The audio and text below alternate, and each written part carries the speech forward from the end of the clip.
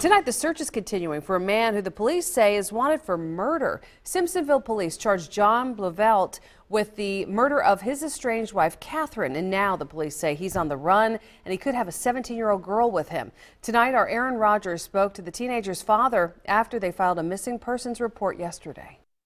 We're terrified. 17 year old Hannah Thompson's stocking hangs on the wall, but her parents don't know if she'll be home for Christmas. Do not know for certain if she is with him or not.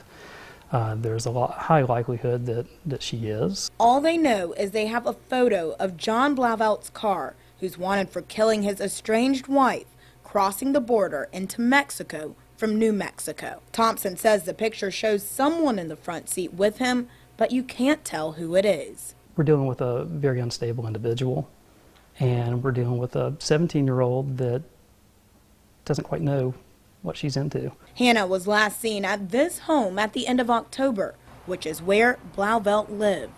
It's almost like an alternate reality that exists or something. It's unlike anything I've ever experienced in my life. And I hope that no one else ever has to go through it.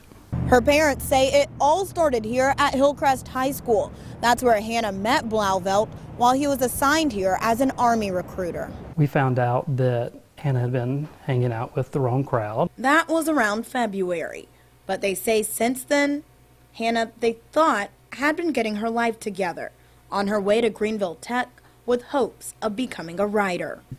It doesn't add up. Her parents say they had been getting texts and occasional phone calls from her, but that all stopped Sunday. We really desperately want to hear from you and hope you're safe. And for anyone who may know anything at all, now's the time to say something. It's time for everybody to do the right thing across the board. In Simpsonville, Aaron Rodgers, 7 News. Blauvelt also had a warrant for domestic